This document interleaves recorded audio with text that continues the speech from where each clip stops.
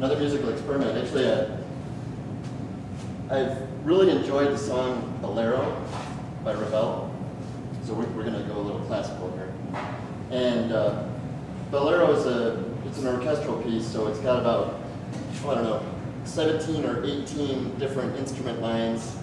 And it's made for an orchestra that's, uh, I don't know, got 100 or 150 people in it. So I figured I might try it by myself.